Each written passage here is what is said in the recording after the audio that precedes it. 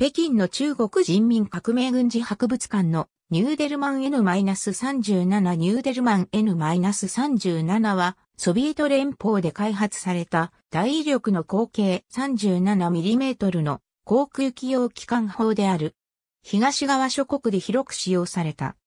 N-37 は第二次世界大戦期のニューデルマン・シュラノーブ NS-37 を更新するために AE ヌーデルマン率いる第16設計局の VR、ネメノフによって設計され、1946年に軍に導入された。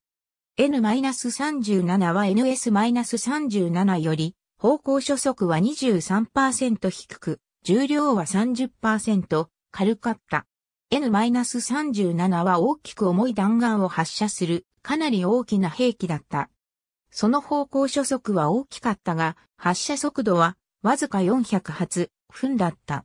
その兵器の大きな反動と肺炎は、機関砲と十分な量の弾薬のための空間を確保することと、並んで、ジェット戦闘機にとって問題だった。しかし爆撃機を破壊するには、多くの場合、一撃で十分だった。N-37 はミグ -9、ミグ -15、ミグ -17、ミグ -19 の初期型などの戦闘機、約 -25、その他に使われた。生産は1950年代後半まで続けられ、その後、軍に長年にわたって残存した。ありがとうございます。